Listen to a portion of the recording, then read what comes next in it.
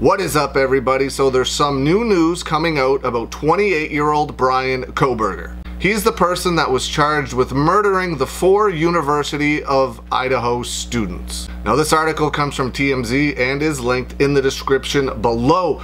It states that he was more animated in class after killing the four Idaho students. It's crazy that he went back to school after allegedly murdering four people. I guess in his mind, he's got to go about his everyday life to try and not get found out for doing what he allegedly did. I suppose you just murdered four people and you're going to go back to school there is something deeply, deeply wrong with this person. Now, this article states the man charged with murdering four Idaho college students seems to be seemed to be in good spirits and more animated in class after he allegedly committed the murders, according to a classmate.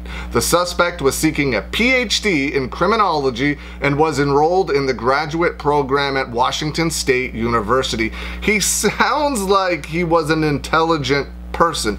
I wonder why he did this. It's going to be, I mean, Will he say? We don't know yet. Maybe he'll come out in the trial, or maybe when police finally get a chance to interview him, he will give more information. But what's the connection to these four students? Why were these four students his target? He also recently graduated from DeSales University in Pennsylvania with a degree in criminal justice. BK Norton told the New York Times that they attended graduate studies with Kohberger at WSU and quickly noticed some red flags that weren't obvious earlier in the semester after the brutal slangs came to light. Bryan seemed more upbeat and willing to carry a conversation, Norton wrote in an email to the New York Times.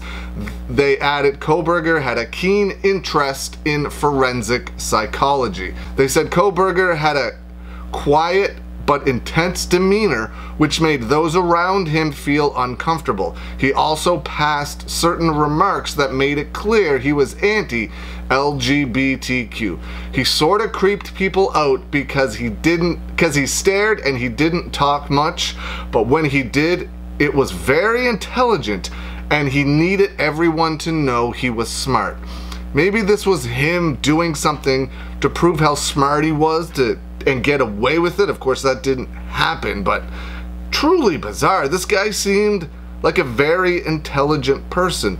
I really, I'm really interested in knowing like what's the connection with these students? Why did he do it?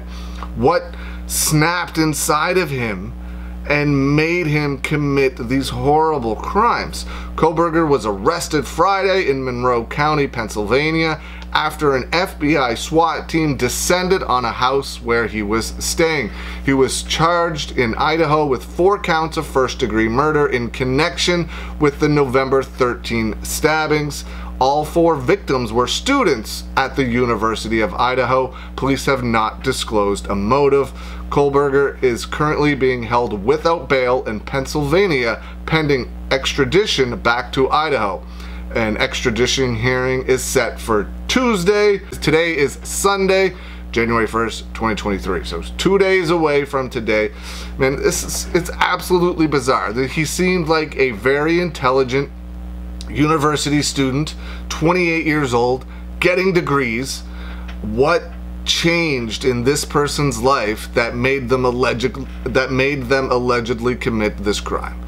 I'm very interested to see how this proceeds and where this goes. Let me know what you think. Leave some comments below. I hope you're having a good day, and I'll see you again soon.